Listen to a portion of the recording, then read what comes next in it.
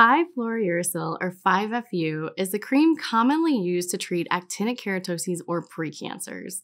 It's a great option to reduce these precancers. However, brand new research out of Washington University in St. Louis recently showed that adding calcipotriene, a vitamin D3 derivative, improves the results.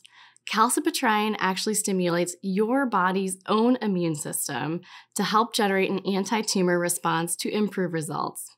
And even better news is that you're going to get these great results in a shorter time period. Traditional therapy requires two weeks of treatment for facial precancers. However, with the new addition, we cut treatment times in half, allowing completion in just five to seven days. So not only will you get great results, you're going to get these results in a much faster period of time by taking advantage of this new treatment tip.